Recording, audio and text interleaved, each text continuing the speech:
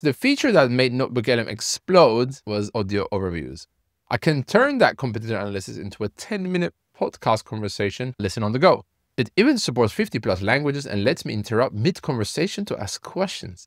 Teams use it to review meeting notes, students to study, and executives to absorb strategy while commuting. On the right side, you have the studio panel. Here's where it multiplies really the productivity. From the same competitor research, I can generate a podcast, as mentioned about the audio overview, a study guide, an FAQ, and even flashcards now at the same time.